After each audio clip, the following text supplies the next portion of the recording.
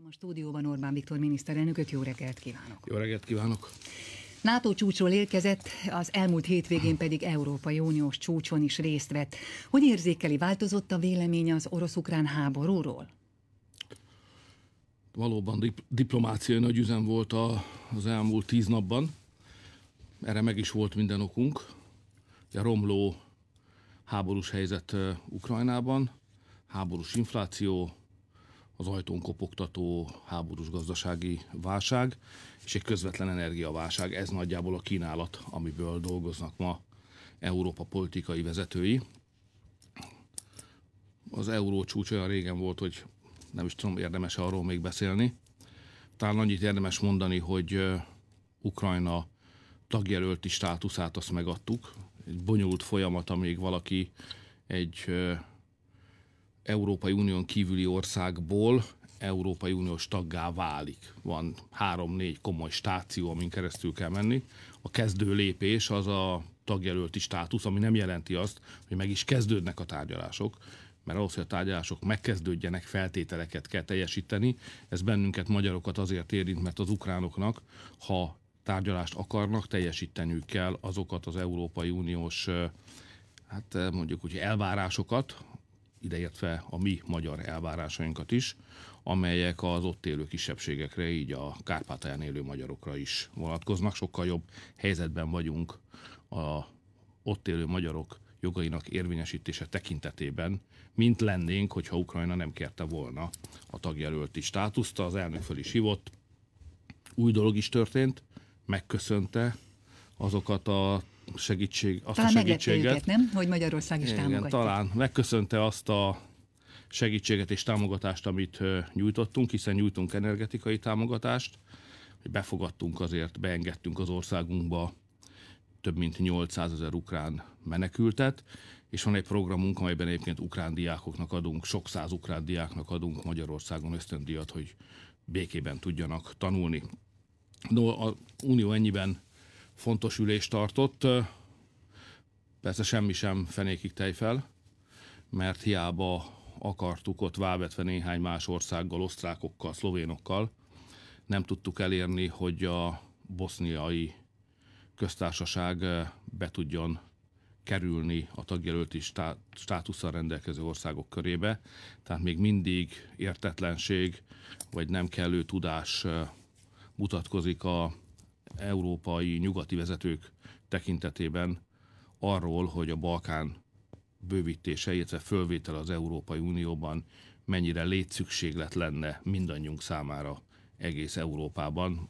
A most erősödő, sőt rohamosan erősödő migrációs nyomás pedig adna a közvetlen bizonyítékot is arra, hogy fel kell venni ezeket az országokat az Unióba. Szóval az ukránok igen, de a bosnyákok egyelőre nem, de folytatjuk a küzdelmet az osztrákokkal, szlovénokkal, horvátokkal, hogy ez bekövetkezzen. A NATO az egy súlyosabb eset volt, az Európai Uniós csúcson még csak-csak túlendültünk, bár ott is kellett azért figyelmeztetéseket, hát ilyen szelíd figyelmeztetéseket átadnunk, hogy ne próbálkozzanak egy újabb hetedik szankciós csomaga, különösen úgy nem, hogyha abban gázra vonatkozó korlátozásokat is terveznek, mert Magyarország számára ez nem is tárgyalási alap. Az olajról még hajlandóak voltunk tárgyalni, és tudtunk kötni egy kompromisszumot, és kaptunk egy kivételt, és így a magyar gazdaságot talán sikerült megmenteni. De a gáz esetében ez sokkal súlyosabb volna, mármint ha a gázra is szankciókat vetnének ki Brüsszelben, ezért mi erről nem is vagyunk hajlandóak tárgyalni, tehát jeleztük az elején, hogy olyan javaslatot, amely a Magyarországra érkező gáz korlátozásáról szól, az orosz gázhoz való hozzáférésünket eh, nehezíteni el, erről nem tárgyalunk. Tehát nem, nem arról van szó, hogy keresünk kompromisszumot, hanem nincs miről tárgyalnunk. Na, ennyit az uniós barátságos és könnyed brüsszeli csúcsról. A NATO az nehezebb volt Ugye lassan szembe kell nézni a realitásokkal, akkor is, hogyha ez nem tetszik az embernek. Még nem tart itt a NATO, de közelít ehhez a ponthoz. Tehát mindenki az ukránok oldalánál természetesen, mert az a közfelfogás, mi is ezt valljuk, hogy akármilyen viták is voltak Ukrajna és Oroszország között, akár mennyire is előkészítették az oroszok ezt a konfliktust a tekintetben, hogy felvetették a biztonsági igényeiket, amikről mi nem voltunk hajlandók igazából tárgyalni. Ez mind igaz lehet, de ez semmiképpen nem ad elegendő választ és indokot arra, hogy egy ország megtámadjon egy másikat, és nyílt háborút indítson. Még hogyha az oroszok ezt nem is hívják nyílt háborúnak, hanem különleges katonai akciónak nevezik. Tehát mindenki az ukránok oldalán van, hiszen az ember a megtámadott oldalán szokott lenni. És szurkol is a megtámadottnak természetesen. De miután háborúról van szó, ahol tízezrek halnak meg, és a szám nagyon könnyen elérheti a százezreket is, ugye nem akar ebbe belekeveredni. Mert ez nem Magyarország háborúja, nekünk ebből ki kell maradnunk. Ez két szomszédos szláv ország háborúja, NATO pedig egy védelmi szövetség. És voltak olyan remények, hogy lehet úgy sikeres háborút vívni az oroszokkal szemben, hogy az ukránok harcolnak, és azok az országok, amelyek fegyvert szállítanak, akik közé mi nem tartozunk, mert szerintünk az már félig a háborúba való belesodródást jelenteni. Tehát lehet úgy háborút nyerni az oroszok ellen, hogy az ukránok harcolnak, és hátulról néhány nyugati ország pedig nagy mennyiségű fegyvert szállít. Azonban a háborúban a fegyver nagyon fontos, de a legfontosabb a katona. Az pedig fogytán. Tehát lassan szembe kell nézni az a realitás, hogy egyik oldalon van egy 138 milliós Oroszország, a másik oldalon pedig van egy 31 néhány milliós Ukrajna, amelyet ugyan az amerikaiak meg az angolok elég jól felszereltek fegyverzettel, és sok katonájukat elég jól ki is képezték, tehát komoly haderőt jelent Ukrajna, és hősiesen is harcolnak, hiszen a hazájukat védik, de lassan azért a katonai realitások érvényre jutnak.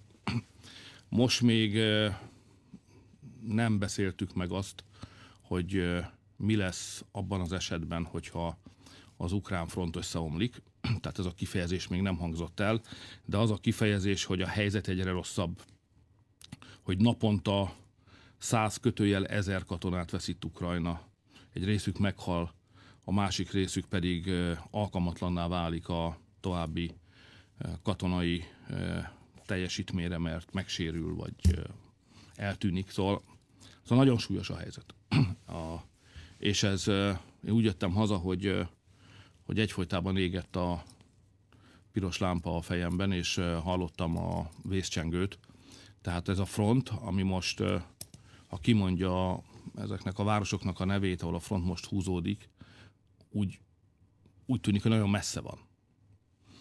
Tehát Luhansk, meg Donetsk, ugye ezek nincsenek benne a mindennapi magyar kultúrában. Ezek valahogyan idegen, távoli helyeknek tűnnek. De hogyha gyorsan változik a katonai helyzet, amire minden esély megvan, akkor egyre inkább olyan városok nevét fogjuk majd hallani, amiket már ismerünk. Mert a háborús zóna a sokkal gyorsabban közeledik majd Magyarországhoz, mint amire egyébként ma fölteszem a rádióhallgatók nagy része egyébként gondol. Úgyhogy úgy jöttem haza, hogy sürgősen be kell rúgni a motorokat, krublikat meg kell tekerni, és a haderőfejlesztési programot azt két-háromszorosára sebességében két-háromszorosára kell növelni. A, a haderő képességek, a védelmi képességeinket azokat meg kell erősíteni, ebből a félbékés, félveszélyhelyzeti állapotból ki kell rántanunk a hadseregünket, és nagyon gyors képességfejlesztési munkát kell elvégeznünk, tehát ez a békédőre jellemző 8 órás munkaidő, meg ez, ezeknek most vége van. Tehát még nem tudom pontosan milyen formában fogjuk ezt megtenni a hadügyminiszter úrral, meg a hadsereg parancsnokával, de, de meg kell találnunk a módját annak, hogy, hogy egy emberfelettinek tűnő munkával, erőfeszítéssel a védelmi képességeinket azt radikálisan megnöveljük. A NATO is érzi, hogy baj van. Hoztunk döntést arról, hogy meg kell erősíteni a NATO keleti szárnyán lévő országokat, mi ide tartozunk, tehát ez Lengyelország, Szlovákia, Magyarország, Románia. Itt komoly katonai erősítéseket kell végrehajtani a NATO-nak, mert ha baj van, akkor már hiába kapkodunk. A, a védelemre való fölkészülés az csak években mérhető, jó esetben fél években, amikor a baj beütött, akkor már hiába akarom kiképezni több katonát, hiába akarjuk korszerűsíteni a fegyverrendszereinket, hiába akarjuk a minőségét növelni, a védelmi minőségét és képességét a katonáinknak. Ha előtte ezt nem tettük meg, azt néhány hét alatt, amikor már a baj közel van, nem lehet megtenni. Tehát ha békét akarunk, akkor most kell jelentősen megnövelni a katonai képességeinket. Így is, így is jöttem haza, megfeszített munkát fogok kérni a minisztertől, a, a Honvéd vezérkartól, amit most újra felállítunk, és minden egyes katonatisztől, meg a beosztottaiaktól, beosztottaiak, beosztottaiktól is a következő hónapokban. Lehet, hogy a NATO számára nem elsődleges szempont, de az Európai Unió vezetőinek elsődleges szempontnak kellene annak lenni, hogy hol tart a gazdaság Európában. Ha tetszik, a világgazdaság az egész világon. Tehát az, hogy egy gazdasági válsághelyzet van, hogy háborús infláció van, ami tönkre teszi minden gazdaságot, nem csak a magyar gazdaságot, a nyugati gazdaságokat ugyanúgy tönkre teszi. Ez miért nem szempont? Hát szempont ez csak ez két egymást kizáró téma vagy szempont, amit nagyon nehéz összeegyeztetni, mert egyfelől itt van ez ukrán-orosz háború, ahol segítséget akarunk nyújtani az ukránoknak, és bár Magyarország sosem volt híva a szankciós politikának, de valamilyen okból az, az uniós országok nagy része hisz abban, hogy szankciókkal eredményt lehet elérni, és miután az Európai Egységet nem akarjuk megbontani, és nem akarunk minden héten vétózni valamilyen új szankciós intézkedést, ezért inkább úszunk az árral. Nem szeretem az ilyesmit, nem is a magyar karakternek való, de azt, az, az elviselhetetlen lenne Magyarország számára, hogy miközben mindenki hisz valamilyen gazdasági intézkedés jótékony hatásában a háborút illetően, mert az ukránokat megsegítő hatásában hisz, a egy ország folyamatosan képviselve a saját álláspontját minden egyes ilyen szankciós lépést megakadályoz. Ez, ez vállalhatatlan egy olyan közösségben, amely az együttműködésre, a lojalitásra, az egymás kölcsönös tiszteletére épül. Tehát vannak pontok, amiket kiválasztunk, ahol nem engedünk, mert az már élethalál kérdés a magyar gazdaságnak, ilyen az energia kérdése. A többi ponton pedig csak azt tudjuk mondani, hogy hát ha így látjátok, hogy ez jó, és mindenki így látja rajtunk kívül, akkor nem akarunk abba a helyzetbe kerülni, mint a viccbéli autós, aki szembe megy a forgalommal, ugye mindannyian ismerjük ezt. Tehát megkímélném Magyarországot ettől a helyzettől. Ez csak oda vezetne, hogy elveszítjük a szövetségeseinket, és elveszítjük a támaszainkat, meg az együttműködés lehetőségét Európában. Tehát ott, ahol nem életbevágó a dolog Magyarország számára, ott engedünk, ott, ahol meg, meg kell vetni a sarkunkat, ott, ott nem engedünk, hanem nem jönnek létre döntések. Ha megengedít, tennék egy megjegyzést, mert a vétó szó gyakran hangzik el, ami egy félrevezető kijelentés, ugyanis Magyarország nem vétózik. Az Unióban nem úgy van, hogy valahol születik egy döntés, a tagállamok vagy jóvá hagynak, vagy nem. Hanem úgy van, hogy minden döntés akkor jön létre, ha minden tagállam egyetértett. Tehát nélkülünk nincs döntés. Nincs itt megvétózni. Tehát ez egy együtt döntési folyamat, ezért mi nem megakadályozunk valamit, hanem miután nem vagyunk része egy döntésnek, a döntés nem tud megszületni. Ez egy egészen más, nem csak jogi, hanem politikai logika is, mint amit talán sokan gondolnának. No, tehát az egyik problémánk az, hogy a, az Unió nagy része hisz abban, hogy a szankciók eredményt lehet elérni, ugyanakkor meg nyilvánvaló, hogyha nincs béke, akkor a gazdaságunk menetel a recesszió, folytatja és menetel a recesszióba mármint a gazdasági visszaesésbe. És a két dolog, amit a háború ügyében tenni akarnak az uniós vezetők, meg ami az Európai Unió gazdasági érdeke lenne, azok szemben állnak egymással. Ugyanis nem szankciókra volna szükség, hanem azonnali tűzszünetre, azonnali béketárgyalásokra. Ha lenne más béke, nem beszél? Hát nem, ebben én, én vagyok az egyetlen, néha kicsit furcsán is érzem magam. A magyarok végül is a szabadságharcos nép, meg meg kiszoktunk állni a saját érdekeinkért, akkor is, ha az konfliktussal jár. Ritkán van az úgy, hogy Magyarország egymaga a, van a szelíd oldalon, vagy ha úgy tetszik a galamb oldalon, és mindenki más pedig héja. Mi is jobban szeretjük a konfliktusokat inkább kibeszélni és megvívni a küzdelmeket, de most itt nem egy intellektuális vagy politikai vitáról van szó, hanem háborúról. Hát képzelj el, hogyha igaz, hogy minden nap száz kötőjel ezer ukrán katona esik ki a hadseregből, az tíz nap alatt, mondjuk a középértékkel számítok, az is 5000. A száz napot 50 ezer. Tehát itt az, ez ennyi család. Ennyi. Apa, anya, gyerek, szóval az, a humán dimenzió ennek az egésznek, ez, ez borzalmas, ami ott történik, ez, ez tragikus. És itt, itt Magyarországnak szerintem a béke oldalán kell lennie, és most az emberéleteken túl is azt kell mondanom, a háborús inflációt nem lehet másképpen, amitől mindenki szenved, egész Európa, de most már Amerika is, azt nem lehet másképpen megakadályozni, csak úgy, hogyha a háborúnak vetünk véget. Tehát olyan nincs, hogy van egy háború, van egy háborús infláció, és sikerül megfékezni az inflációt. Annyit tudunk tenni, amennyit Magyarország egyébként szinte egyedül egész Európában tesz, hogy bizonyos termékeknek az árát hatóságilag korlátozza. És az infláció nem 15% Magyarországon, hanem, hanem 10 vagy 11.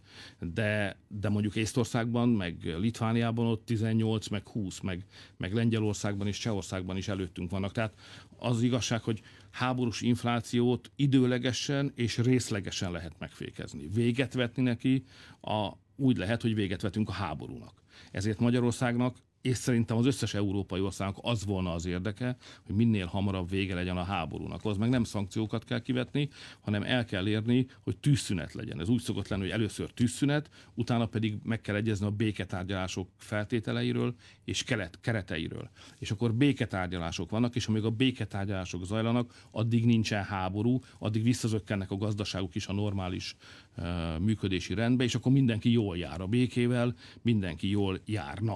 De egyelőre még egyszer mondom, rajtunk kívül mások nem ütik meg ezt a hangot, úgyhogy Európa és Amerika továbbra is szenved. Voltam a parlamentben is a napokban, ott volt vita, és úgy látom, hogy nem mindenki érti még, a, hogy milyen, milyen nehéz a helyzet. Tehát én értem, hogy mindenki hirtelen előáll igényekkel, részben fejlesztési, részben fizetésemelési igényekkel, rásul magasakkal, 20-30-40 százalékokról, meg duplázásokról beszélnek, és én próbálom elmondani ott is, meg, meg itt is, hogy, hogy háborús helyzet van, és most mi nem támadunk, hanem védekezünk. Tehát most nem, nem most van az ideje annak, hogy előre tudjunk lépni egyet vagy kettőt, mondjuk fejlesztésekben, vagy akár bérkérdésen. Most annak van itt az ideje, hogy megvédjük azt, amit elértünk. Tehát a siker, az eredmény ma az, ha nem csúszunk vissza, hanem meg tudjuk vetni a sarkunkat, vagy a lábunkat, és nem engedjük, hogy a háborús helyzet visszatoljon bennünket a gazdasági fejlettség, meg az életszínvonal tekintetében. És ezért tettem világossá már az eskütételem időszakában is, hogy amire vállalkozni tudunk ma jó lelkiismerte és őszintén, az az, hogy megvédjük azt, amink van. Teljes foglalkoztatást, családtámogatási rendszert, rezsicsökkentést és a nyugdíjakat. Ha ezeket meg tudjuk védeni, akkor Magyarország már nagyon nagy teljesítményt tett le az asztalra. A legtöbb ország erre most sem képes és nem lesz képes a jövőben sem határvédelmi egységek létrehozására van szükség, azért mert elképesztő a nyomás a déli határon. Ezt a NATO is állítólag észrevette, majd kíváncsiak vagyunk, hogy a védekezés érdekében mit tud tenni és segíte azoknak az országoknak, amelyek ott vannak a határnál, mint például Magyarország.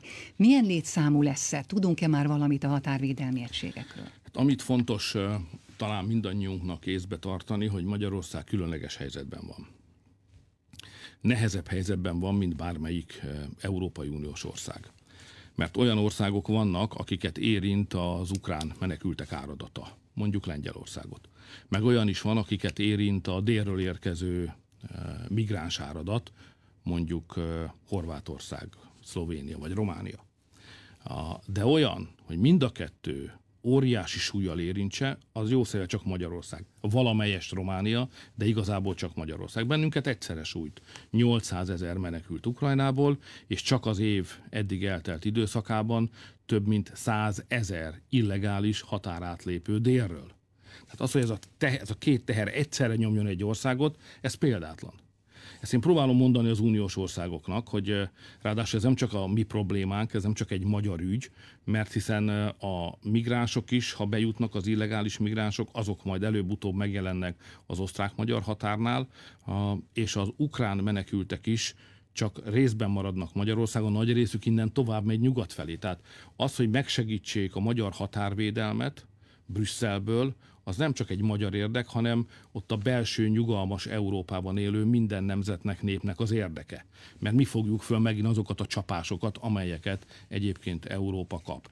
És ehhez nekünk pénzügyi segítség, támogatás, meg biztatás jó jönne, de hát inkább támadásokat szoktunk kapni, nem pedig pénzügyi ilyen emberi jogi támadásokat, nem pedig pénzügyi segítséget. Én ezt fölvetettem, továbbra is napirenden tartom hát logikus lenne, vagy elvárható lenne az Uniótól, hogy Magyarországnak ezt a sajátságos helyzetét elismerje, és a megfelelő pénzügyi támogatást megadja.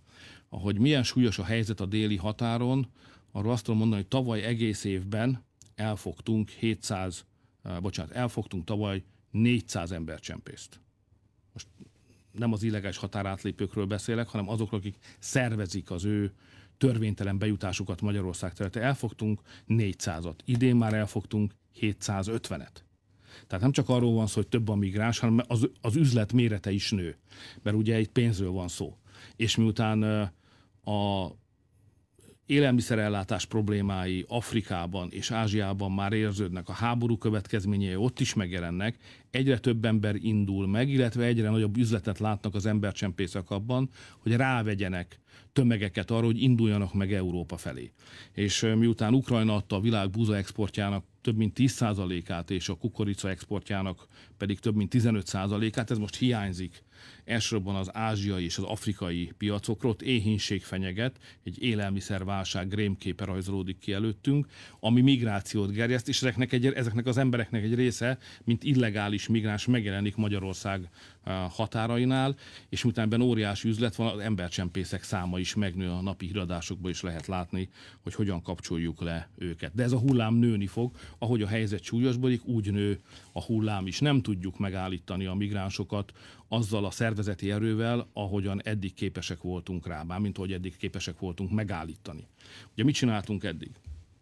Katonákat és rendőröket vezényeltünk oda most, hogy a háborús zóna közeledik Magyarország keleti határaihoz, minden egyes perc, amit a katonáink nem fölkészüléssel, a védelmi képesség megerősítésével, mondjuk úgy, hogy gyakorlatozással töltenek el, az luxus, az megengedhetetlen, kidobott idő. Tehát a katonákat onnan le kell vezényelni, hogy részt tudjanak venni a magyar hadsereg fölpörgetett fejlesztési programjának a végrehajtásában. A rendőröknél meg az a helyzet, hogy úgy vezényeljük őket oda, ahonnan oda vezényeljük őket, ott ők hiányoznak. Nem csak a családjuknak, hanem a közrend meg a közbiztonság fenntartása szempontjából is hiányoznak. Tehát a békés, nyugodt, kiszámítható polgár élet megteremtésébe nem tudnak mondjuk Szombathelyen meg Veszprémben részt venni, mert len kell lenniük a határon. Ráadásul a munka megterhelő, messze a családtól, ott is fogy a, a lelki erő meg a fizikai erő is. Tehát ez sem, ez sem megoldás. Ez átmenetileg jó volt, egy-két évig elment, de erre most már nem tudunk építeni. Eljött a pillanat, amikor muszáj megszerveznünk egy új, hívjuk úgy, hogy határvadász rendszert. Tehát egy határőrséget, amely határvadász századokból áll. Most ezt a munkát a belügyminiszterre bíztuk, rövid határidővel. Ha megbirkózik vele, akkor a belügyminisztérium keretein belül építjük föl ezt a határvadász képességet. Új embereket kell fölvennünk, ezrével kell. Tehát itt nem tíz meg száz emberről beszélünk, itt két kötőjel négy ezer embert kell fölvennünk csak határvadász, határvédelmi szolgálatra. Ez egy, ez egy nagy munka, őket ki kell képezni, azért ott mégis emberekkel szemben kell intézkedni, tehát nem egyszerűen csak fizikailag kell őket fölkészíteni, hanem az emberi jogok ismerete, jogszabályismeret, mit lehet tenni, mit nem, ezekből mind ki kell őket képeznünk, ahogy hogy civilizált módon tudjuk megvédeni határainkat. Ott azért most már riasztólövések is vannak, tehát valaki figyeli a déli helyzetet, akkor látja, hogy egyre erőszakosabbak a embercsempészek és az illegális migránsok, és hát erőszakkal szemben plüsmacikkal és virágcsokrokkal nem lehet védekezni, tehát nekünk most néhány ezer jó kiképzett határvadászra lesz szükségünk a következő hónapokban. Ha a belügyminiszter megoldja, akkor ez a belügyminisztérium keretein belül marad, ha nem, akkor attól függetlenül azon kívül kell majd megoldanunk. Van arra is egy tervem, hogy hogy tudnánk ezt a belügyminisztérium nélkül is fölépíteni, de jobban örülnék, ha sikerülne azon a kultúrán belül tartani a határvadászokat, ami ma a rendőrséget jellemzi, amiről mindenki elismerőleg beszélt. Ez egy nagyon komoly, nem egyszerűen csak hatékony, hanem, hanem polgárbarát kultúrájú testület is lett a rendőrség az elmúlt 12 évben, és ha azon belül tudunk valamit megoldani, az azért majd jótékony hatása lenne az állampolgár, rendőr, migráns rendőr kapcsolatra is. Ha ez nem megy, hát akkor azon kívül egy kicsit nyersebb formában kell fölépíteni a védelmi képességünket. Nem tudtunk minden kérdést szóba hozni, de talán majd legközelebb. Köszönöm, Orbán Viktor miniszterelnököt hallották.